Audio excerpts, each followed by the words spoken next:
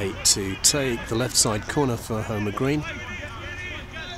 As the uh, the daylight begins to wane here at Airedale Park. And uh, both teams have now come close to scoring. There's the very high corner nodded into the air cleared by the visitors. Seven collects it though for the hosts cross takes a deflection.